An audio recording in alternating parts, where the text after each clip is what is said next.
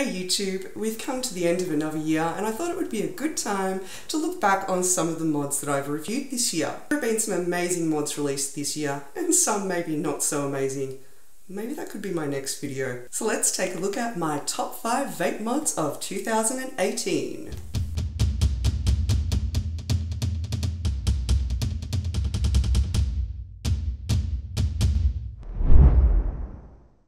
Let's jump straight into it with my number 5 pick, the Think Vape Thor.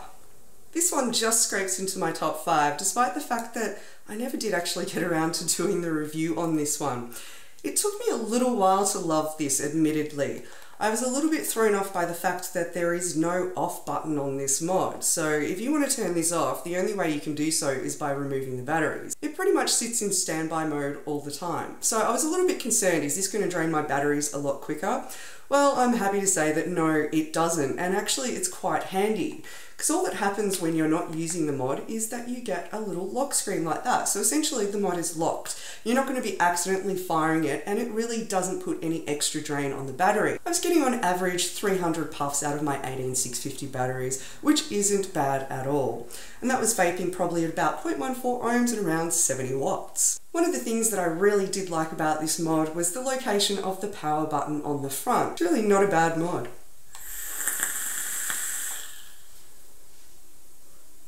The Thor has a whole heap of modes. You've got your variable wattage as well as temperature control and also bypass mode, which is really handy. The Thor also has a centered 510, so you can put on those huge atomizers with no worries about overhang.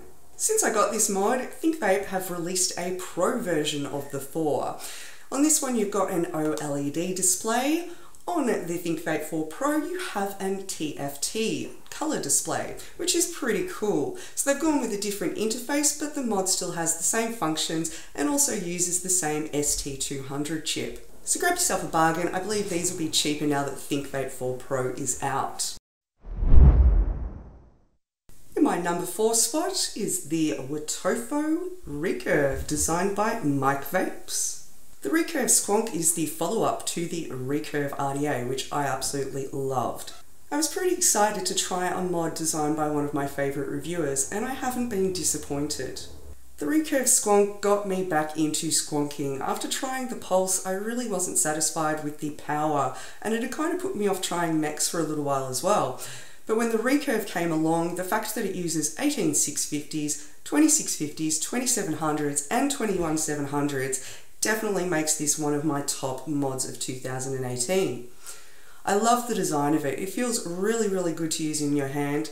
The Squonk Mill bottle on here is great. One of the things that I didn't like about the Pulse Squonk bottles was that I could never get the flavour and the taste of my previous juice out of it. But unfortunately, I never really fell in love with the Pulse. There just was too much of a voltage drop for me and its output of 80 watts, I was barely even getting a warm vape.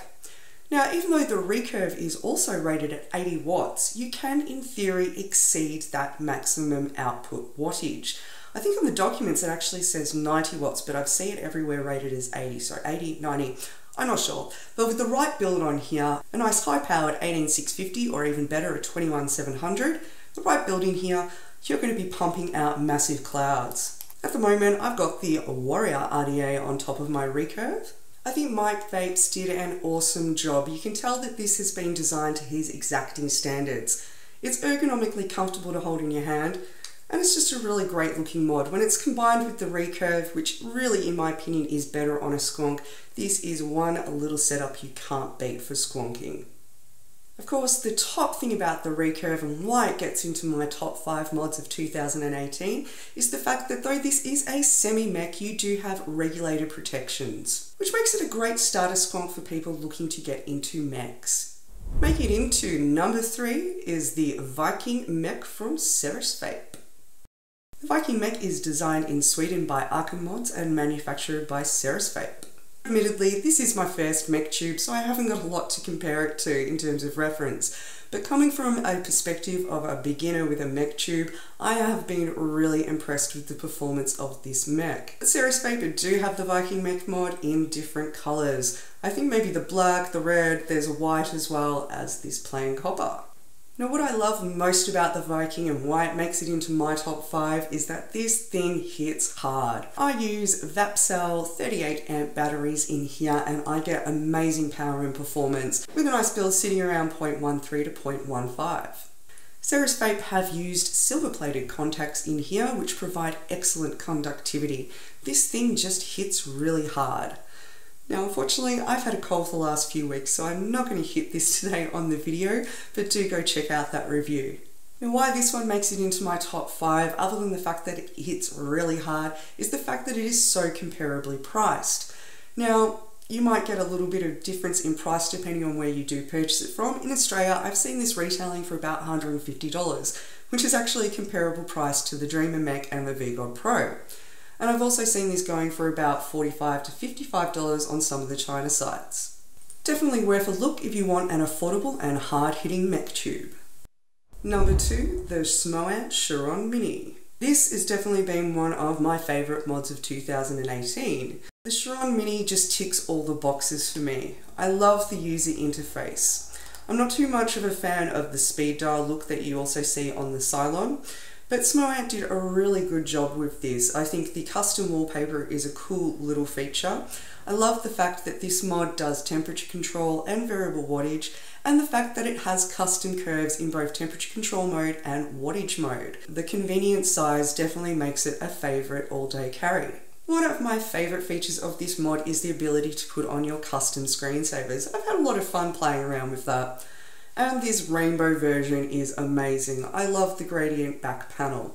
Some people aren't a huge fan of the battery back panel door. It is magnetized and you do get a little bit of movement, but for me, honestly, it hasn't been a problem. I just love this thing paired with my rainbow recurve. Although I do prefer the squonking with the recurve, you can't get past that matchy matchy. I really do love my Smoant mods. And the number one vape mod for 2018 for me the Smoant Naboo. The Smoant Naboo has the same chip as the Smoant Chiron Mini, so it's also got the same user interface and menu options and all the same features, although Naboo does have the extra feature of the music mode. This one features a much larger TFT color screen and that screen is absolutely amazing. It pretty much does almost go edge to edge of the mod. Comes with some pre-installed wallpapers and it's good that you've got a little bit more space to play around with on those wallpapers. This display is just amazing, I absolutely love it. This one came in a kit so I've got the Naboo tank on top and wow, this thing is awesome, love it.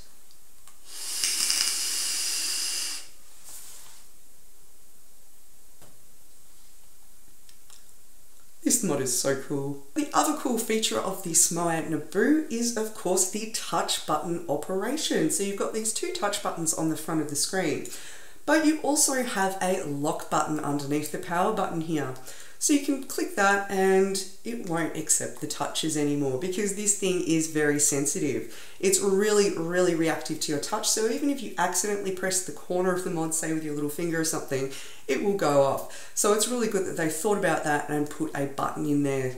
Now you can't completely disable that feature because the selection buttons are controlled by the touch buttons on the front and it also does have vibration. Now you can go in there and turn that feature off in the settings. All in all, this one is a little bit bigger than the Chiron Mini, but ah, they finally released a purple mod. Well, not quite purple, it's gradient blue, but depending on the light, it switches between blue and purple. My favourite colour is purple. So it's kind of for aesthetic reasons that the Naboo makes it to number one in my top five pick of vape mods for 2018. So that was my top five vape mods. What's your top five? Let me know down in the comments below. There's also some mods that didn't make it into my top 5, but they are still, or would be maybe in my top 10. Honourable mentions are the Manto mods from Rincoe, as well as the Voopoo VMate. I did really like that, but I think what put it off for me and why I didn't put it in my top 5, despite the fact that the Gene chip is great, I really didn't like the buttons on the VMate. Go check that review out. Thanks for watching. If you liked this video, please give it a thumbs up and I'd love for you to subscribe to my channel as well and make sure you hit that notification bell. Thanks for watching.